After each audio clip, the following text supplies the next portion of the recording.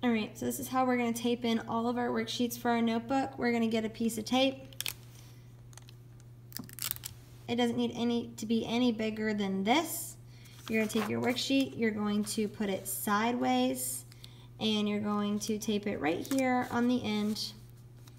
And then you're gonna take your worksheet and you're gonna fold it hamburger style this way. That's how every single worksheet should be folded.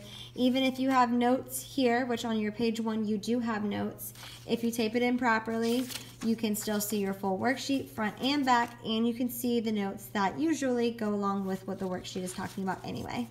Um, you always tape next to the spirals, so even if you're taping on the back side of a piece of uh, notebook paper in the notebook, you're still taping next to the spirals.